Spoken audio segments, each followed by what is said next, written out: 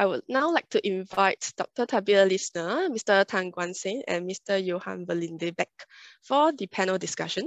And joining the panel now that's uh, Ms. He Qi-Hui, who is the Senior Assistant Director of the Drainage Planning De Department uh, Division in the Catchment and Waterways Department of the PUB. She has 15 years of experience in planning, designing and implementing drainage, and also the ABC Waters project for public spaces in Singapore. So Qi-Hui will be moderating the panel discussion session.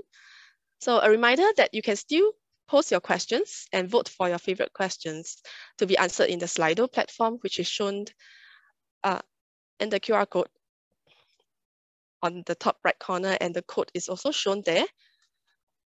All right, now let me hand over the floor to Qi-Hui. Qi-Hui, over to you. Thank you.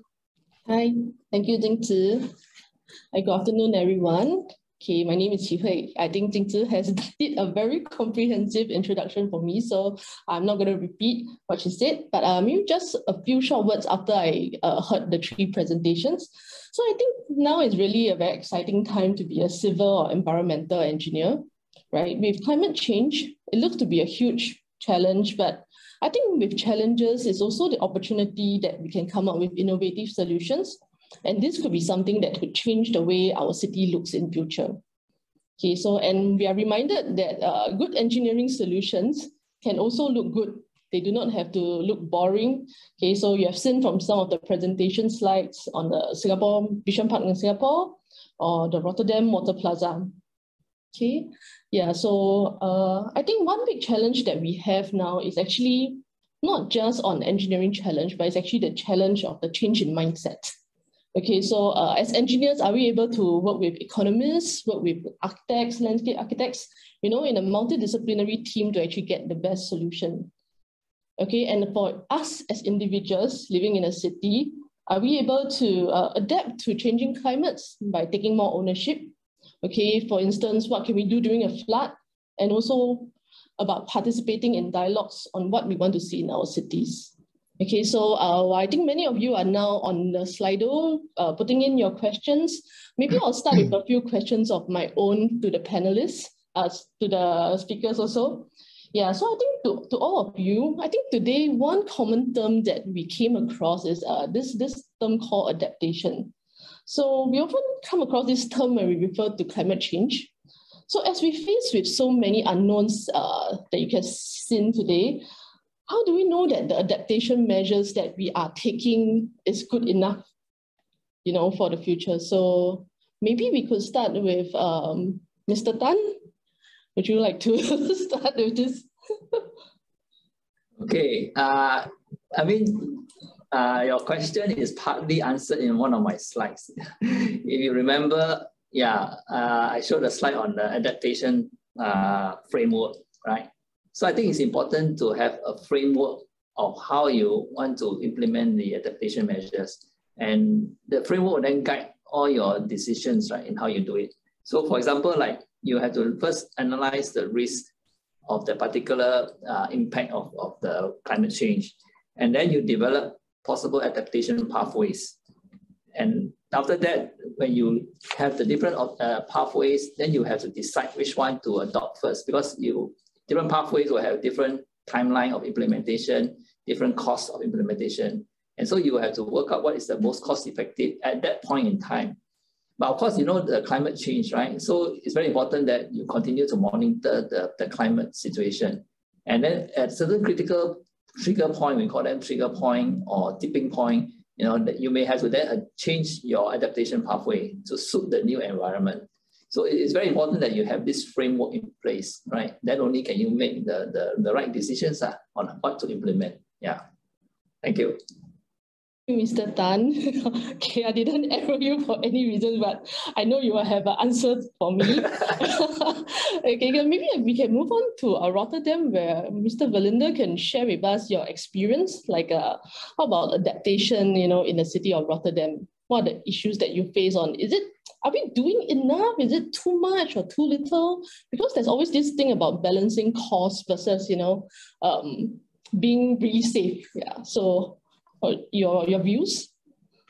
Yeah, it, it's it's always a question that's also asked by the politicians, and the politicians they decide about budget, and they always say, okay, what should we do, and what will it cost if we do nothing? Well, and it's always a really tough question uh, to answer. They they would love to see just a business case about what we should do, but working with climate change, you have to make decision based on uncertainties. But one thing is certain that heavy rainfall will become more severe, droughts will become uh, more problematic, heat waves will become longer, and it will become hotter. So doing nothing is not an option. Uh, and there's a bandwidth of uncertainty. So for us, it really helped that we now have this this this this framework, this program framework, where we really did modeling of all those climate teams. So we really can show everyone what the problem will be, where the problem will be, and what kind of uh, solutions we can undertake. And then again, it's climate adaptation is always about most of the time about multifunctionality. It's not only about hardcore uh, engineering, so about pumps and, and sewage pipes, it also makes the city more attractive. So in that way, it also helps in uh, motivating politicians to invest in the climate adaptive city. It's still, it's always hard work after every election to motivate a new city council to invest in climate adaptation again because of those uncertainties. yeah, thank you for sharing that. I think uh, we could also now go to uh, Dr. Lissner. So I think maybe just to spice this question up a little, uh, I would include it together with the, the first, the, the most voted question, which is also similarly on adaptation measures. So I think from your slide also, you have mentioned that, you know, the cost to invest in hard infrastructure is actually way lesser than the damages that it costs. But yet, you know, we still don't see that kind of investment, you know, in, in adaptation measures. So what do you think is the reason for that? And also, um, what do you think is the lowest hanging fruit, you know, that we should be targeting for in terms of water adaptation? Yes, thanks a lot for for this super super important question, um, and and obviously not not an easy answer for it, but I but I think um, it's it's an interesting it's the, the, to me uh, i guess knowing a lot about about the the climate impacts it is quite baffling that it's still so not well known what the scale of the costs may be if we do nothing both in terms of mitigation and adaptation. And i guess it's it's yeah it, it's part of this um yeah it just not not full, fully fully understanding that yet and i think it's very important to continue um the focus on really on really showing that. But i think um um, Johan just also raised a very important point that, and I guess also uh, very impressively, both of the presentations also showed that that it's beneficial in in a lot of areas the climate resilient development. No i mean it can make a city very very attractive and the presentation really made me want to move to rotterdam basically right away.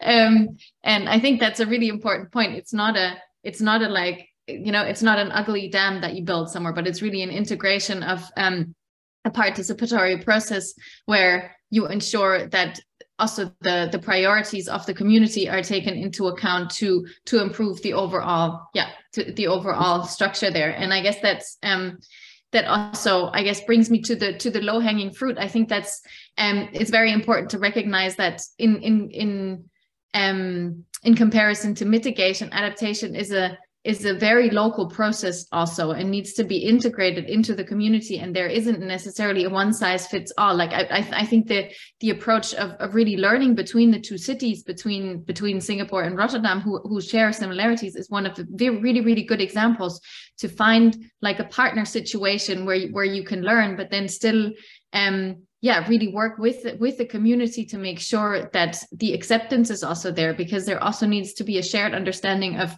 for example what what is the level of risk that we are willing to accept?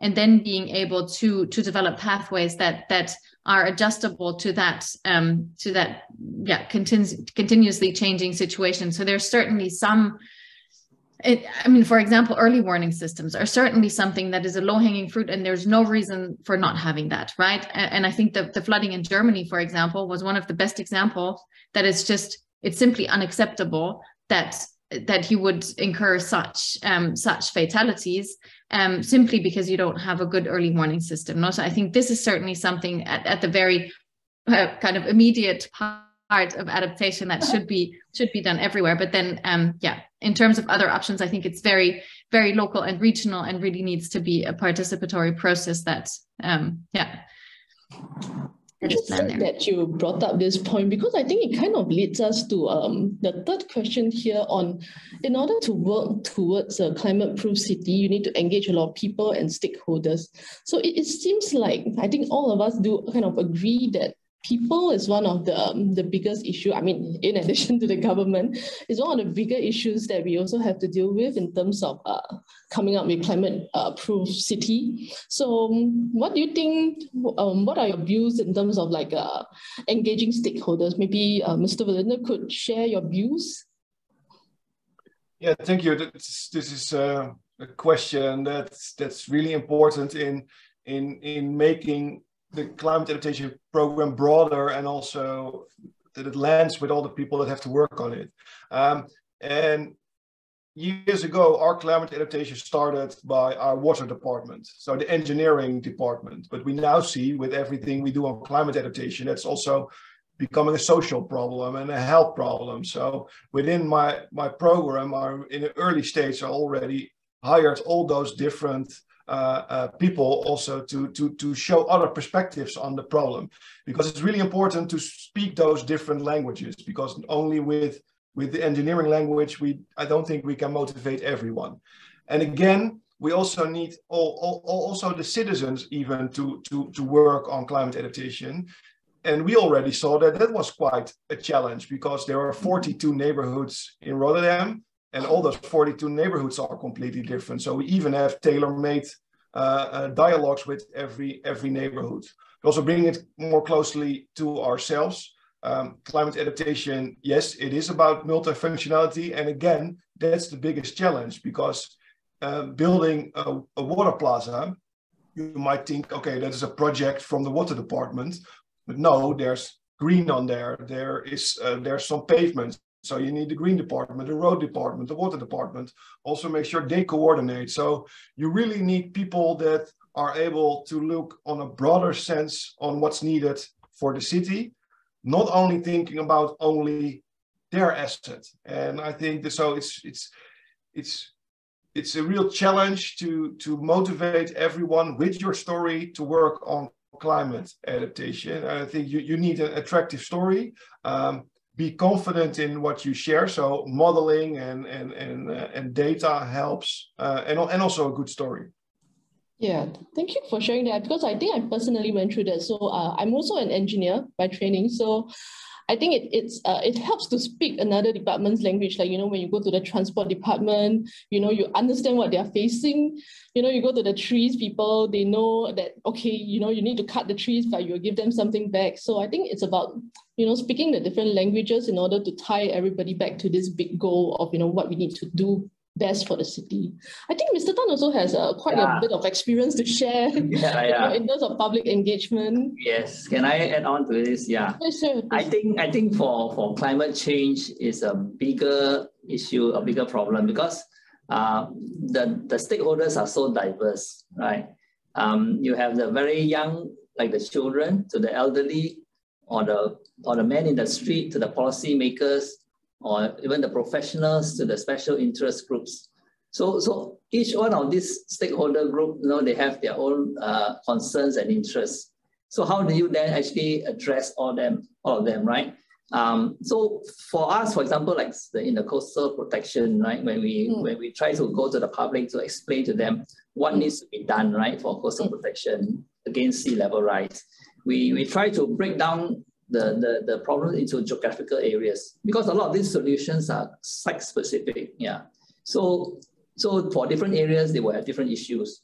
So once you break it down into smaller regions, then maybe it is easier to handle. And also then we will try to explain to them the trade-off because uh, most of the time people want uh, their solution, you know, but we to tell them that if you have this solution, then somebody else will have to give up something. Yeah, so it's, it's a question of trade-off.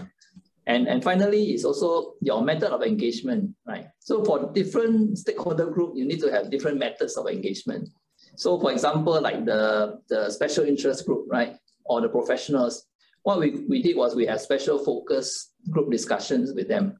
So rather than a, a, big town hall meeting, for example, with the residents or the community, so for different stakeholders, you must tailor the way you want to uh, engage them also. Yeah, so, so that's how we did it, yeah.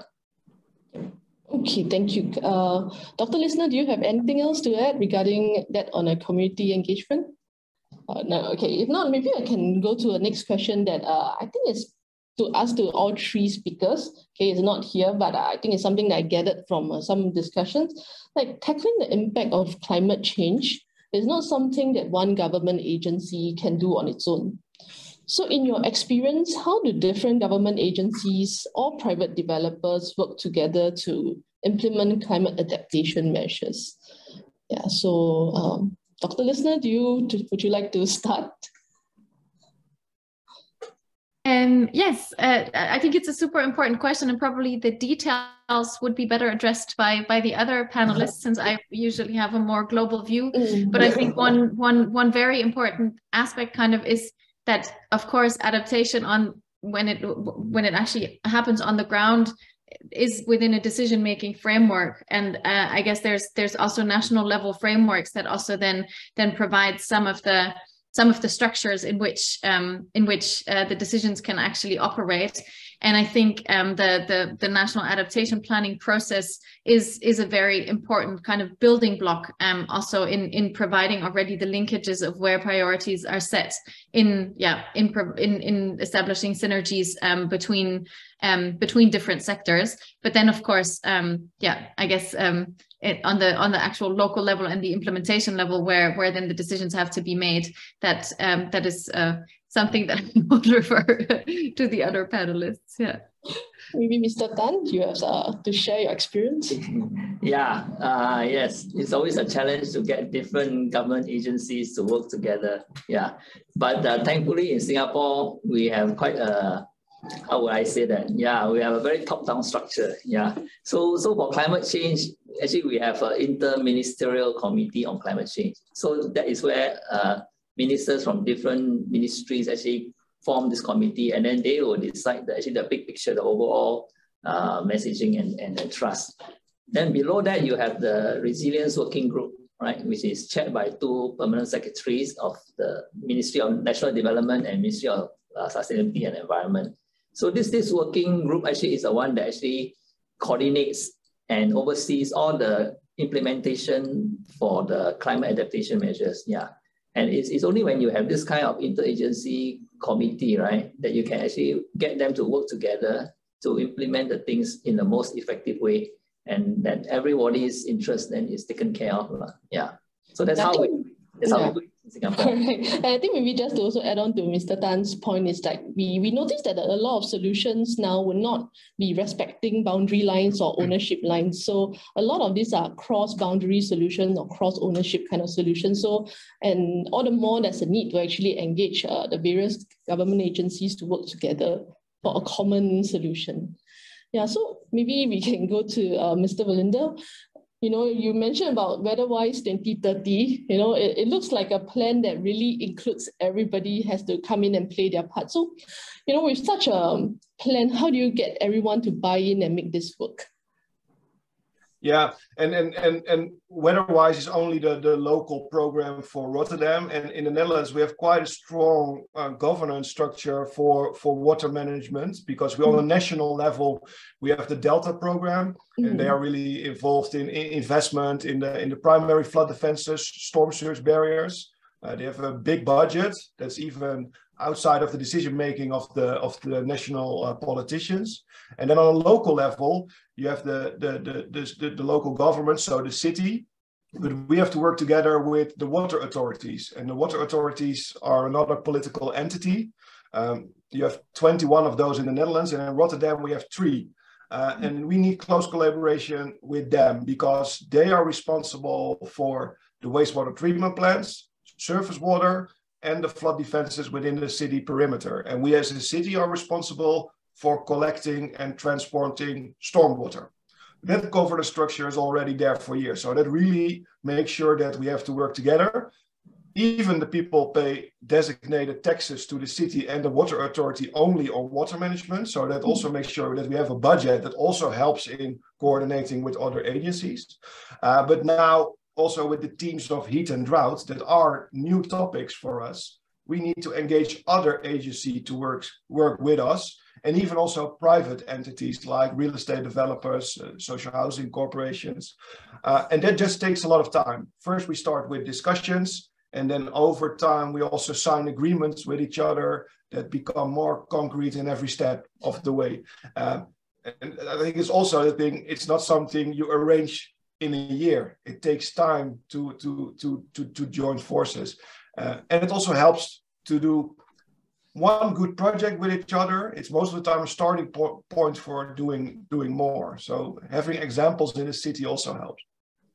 Yeah, thank you. So maybe just to add on to, to what you have mentioned also, so how do you actually engage this um, real estates developer? Because they are, as you mentioned, like 60% are private. So, you know, they are not really being a government entity. So what kind of leverage do you have or how do you convince them to actually be on your side in this endeavor? Yeah, it, it's it's on on multiple levels. So first of all, we do a lot of um, motivation to them. So I do a presentation and I tell them, okay, building in Rotterdam, it's it's it's people want to live, they'll want to work here because you live next to the water. At the same time, building here brings some responsibilities because you are building in a bathtub, uh, uh, you are building in a in a heat environment. So add that to your development. And that works, but only for the most expensive development, because then there is budget for adding climate adaptive measures to your development. What we also do is just uh, putting it in the rules and regulations. So in the building codes, that if you want to build in Rotterdam, at the moment, you now have to be sure that you can store 50 millimeters of rain.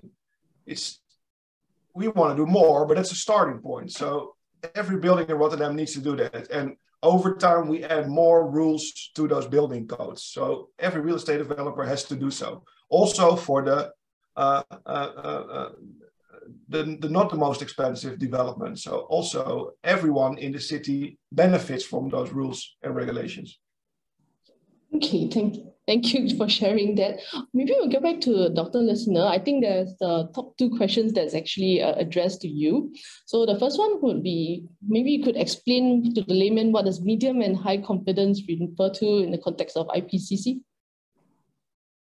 Yes, absolutely. It's a it's a very central uh, central component, I guess, of of, of the reports. And um, so uh, the, the reports don't do their own research, but it's an assessment of existing um, peer-reviewed literature and to be able to have this common language because it's also so important for policy making um, there is this structure of of agreement um, and evidence which translates into into confidence. So you might have for example 10 studies on on the same topic um, and that means that there's a lot of evidence that um, that a certain topic is relevant. But then you might also have um, an agreement or not not agreement. Projections um, as as we all know do have a lot of uncertainty. So there might be um, around flood protections, if you have different studies looking into different models, they might actually have a very strong modeling spread and might even disagree on some of the outcomes. So depending on, on, the, on the combination, I guess you kind of have a matrix structure out of this as a combination of the of the amount of evidence and the and the agreement. Um, we we can we we we document the the level of confidence. Um, so high confidence always means that there is a lot of evidence and there's a lot of agreement. So these are really the most robust statements, and they're really the ones that then um, are are taken into the summary for policymakers that are really non, you know, th- these are kind of non-negotiable outcomes. These this is very robust science, whereas medium evidence can can or medium confidence can either mean there's a lot of evidence, but there's some some disagreement still of the direction, or simply that there's only limited studies, but those are very robust in the same in the same direction. I see, I see. Thank you for explaining that because I think I had that at the back of my mind as well. So I think I think maybe we could just quickly move to the second question, which is also addressed to you. So, uh, Dr. Lissner, could you kindly explain why the future benefits and barriers? Sorry, just moved. Hang on. I think the question has moved. Give me a minute. Uh, okay, they it back. Okay, could you ex kindly explain why the future benefits and barriers to adaptation in the area of WASH oh, were not qualified? People who ask. Yeah. Yeah. Yes, it is a really important question also. So um, and I, I briefly mentioned that um, the, the assessment of future effectiveness that we did is very much limited by what is currently being um, being assessed because for the IPCC report, we can only draw on, on existing literature and there simply aren't quantitative projections of um, the effectiveness um, of adaptation in the WASH sector, even though this is obviously a very, very essential sector and would be one that I believe also could could be modeled quantitatively um, I mean, more, more, you know, um, approaches like behavioral approaches are simply, it's, it's not something that you can really quantify, even though they're super essential. But a lot of the, the WASH intervention certainly would, would um, lend themselves. But currently there wasn't, wasn't any literature. Um, yeah, but it's still assessed in detail in the report. Um, as such, in terms of what is happening now and what are options that have have shown to be effective um, up to date. There's, they simply haven't been included in the projections. Okay, thank you. Okay, hang on. I think someone um, raised their hand in the chat. So would you like to unmute yourself and ask your question? Hello? Maybe the host could help. Miss Paul Li Ping. Hey, hi Li Ping. You have a question you'd like to ask? Uh, Who would you like to address this to? sorry, okay.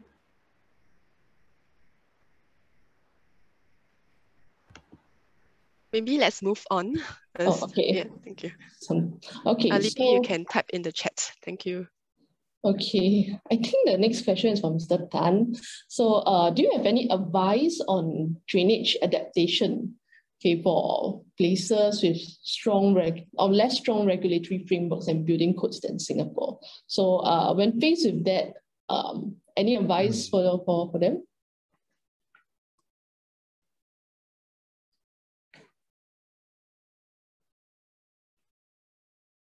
Uh, Mr. Tan, I think you're muted. yeah, unmute.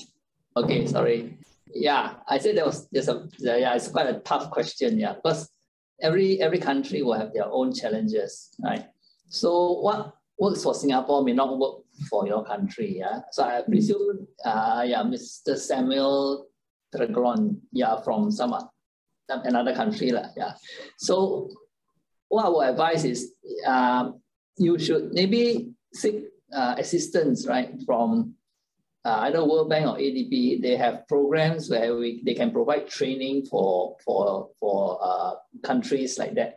So Singapore, we are very happy to always to share our expertise. So like when you go to them, then they may even ask Singapore to come and to you know give you uh, some training, that kind of thing. So really, we have to see the context that you have lah, to be able to know what works in your country. Yeah. I hope that helps. Okay, thank you, Mr. Tan. Okay, I think moving down, one more to Dr. Lissner. So I think I think uh, this was a notice from your slides that South Asia, Southeast Asia, Eastern Asia will be facing more floods. So uh, what's the assessment or impact on temperature rise, especially on the Himalayan rivers? And will we be seeing drying up of these rivers leading to more droughts and food shortages? Uh, Dr. Lissner, your views? Yes, thank you. Um, also, of course, um, a very important question. There's, I mean, there, there's limits to to what um, the IPCC report um, in in this kind of global approach is really able to cover. Um, one of the kind of high level results that we've certainly seen is that um, mountain and, and, glacier and, and snow runoff dependent ecosystems um, and, and systems like, like the Himalayan region um, are certainly also very much affected by temperature change and then um, accordingly by changes in, in snow melt. And for um, I mean, for, for all of the glacier regions in the world, but of course also in in in the Himalayan region, um, we see that um, mm. that th there's hugely accelerated melting rates also for for glaciers, and in some cases, the peak melting rate, if you will, has already been been reached, which means that on the long run there will be a reduction in in runoff out of out of these um, uh, melting processes which of course will have very important implications for for water security and then by extension also food security. Um, but um, yeah um, I guess it, it's always the, the, there. There's many, many more regional studies that that are available to to then look into the into the details of this. But it's certainly a, a very, very important topic. Yeah. Yeah. Okay. Thank you, Dr. Lissner. Uh, I think the next question, the next two questions, actually, I think we have is addressed to Mr. Verlinde. So uh, I think both questions, I think they are asking about um, some kind of a, how do you weigh the solution? So um, pumping solution, storing in the water plaza versus pumping to a reservoir of one kilometers away. So how do you weigh this uh, sort of a pump solution versus a traditional uh, gravity flow drainage solution? I think that's what this is asking. Maybe you could share your views. Yes. Um, so the first thing is that we do a lot of modeling. So on a neighborhood no level, we know the storage deficit in every neighborhood. So the amount of water that need to be stored in order to make sure that combined with the sewage system and uh, water storages with expected uh, heavy rainfall, we will keep the city dry. Um, uh, looking only at those at this uh, water plaza, the primary thing we want to do is uh, let it drain under under gravity or infiltrate into the subsurface. Um, but we saw that with our modeling and and and uh, uh, that it wasn't we weren't able to infiltrate all the water that we store on the on the water plaza into the subsurface because of a lack in infiltration capacity. So and again, the water plaza is made to reduce the stress on the sewage system. So we don't want to let it flow into the sewage system. So on this location, it was a good solution to add a pump to it, to just pump it a kilometer away. Uh, but it, it's just Rotterdam is very flat, so we don't need a lot of pumping capacity to pump water up. It's just to pump it uh, horizontally away uh, one kilometer. So yeah, it's, it's it's based on modeling and and location, and it was on this location a good solution. Yeah, thank you. I think there's also another follow-up question, which is how do you uh, measure the, the trade-off between building the water storage uh, for the parking garage and you know how do you convince the decision makers that they should be investing in that kind of solutions which is sometimes a bit unconventional and then you don't exactly yeah. have very good statistic on what's the benefits that could come about from it True, true. And and again, on this location in the city center, we have a huge storage deficit deficit for water. So we need to add a lot, a lot of water storage to the city center where we don't have any space to do so. So we cannot add surface water to it. So we really have to find it in everything we do. And then when you build uh, uh, a car par parking garage like this, where you are going to excavate, it is a possibility to add a, add a huge water storage to it. And it was also very convenient that the main sewage pipe from the city center, so that collects all the stormwater and sewage water from the city center, ran it was just before uh, the, the, project location of the of the of the parking garage. So that made it convenient to do so. Yeah. So again knowing that you need to store water the project that is there and then there were some lucky circumstances which made this the best solution there. I see. I think the important part is basically like what you mentioned in your um, your your presentation is to have a plan first or master plan first. So when the opportunity comes in, and then that's when you put that plan into action, right? Yeah. Okay. True. True. Yeah. Okay. Um, Mr. Tan, Mr. Tan, anything you want to share about Singapore's experience in terms of um, you know, building such such innovative facilities? How do you convince the decision makers to invest the money in, in, in building something that we have never even like you know seen before and know it will work? Yeah, yeah. Uh, I think yes. Uh, the same question also we have lah, right? How do you convince the developer to put in that detention tank, right, in their development when it actually is serving a public good, right? Um, so, so in the same way, I think we have to convince them of the beneficial uses of it, lah. So, so like um, for some of this development now, right, when they build the detention tank, when they store the rainwater, they can then later on pump it out to use it for irrigation and for watering needs, yeah, to wash the, the, the, the ground floor, that kind of thing. So in a sense, once they see that actually there's a benefit to store the water for their own use, right, then they are actually uh, more, more ready, right, even to, to implement such schemes. And uh, just to make a point also that in Singapore, we have a separate stormwater and sewage system, all right?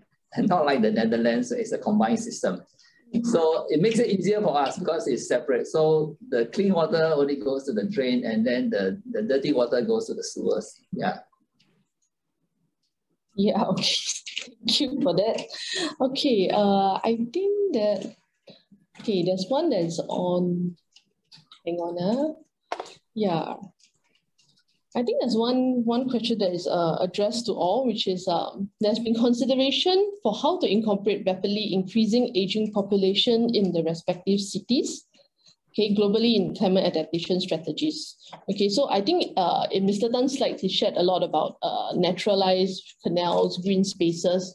But I think in Singapore, we are also uh, conscious that we don't have that much land spaces, you know, and our, our storms come very quickly, so there's also safety concerns. So uh, how do we think that we can still address climate change and also look at how this could, you know, uh, this could be used for the uh, increasingly aging population. So how could they benefit from this climate adaptation strategies? Uh, Mr. Tan or Dr. Lissner, would one of you like to, to start on this? I think it's addressed to all.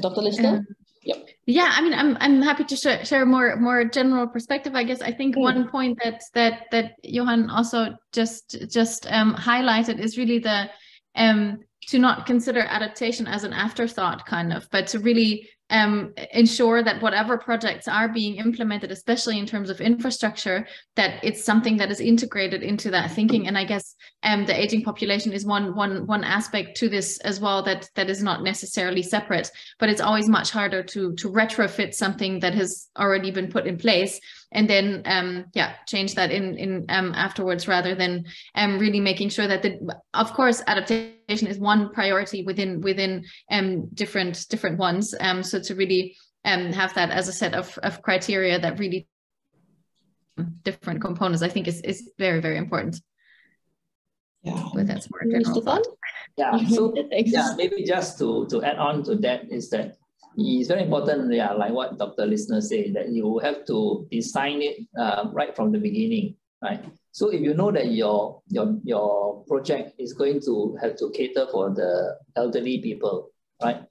Uh, then you have to make sure that uh, the space that you allow them to, to go to are safe, all right? And, if, and for those places that are not safe, then you should have, you have some kind of a, a soft barrier or the way you design it such a way that and then the, the elderly people or, or the people on wheelchair and so on will not go there. See? So all these things has to be taught right through from the beginning. Yeah, then only it will be able to to, to cater for all the different uh, stakeholders. Yeah. Yeah, thank you, Mr. Tan. Uh, how about Mr. Verlinde? Uh, anything to share regarding this?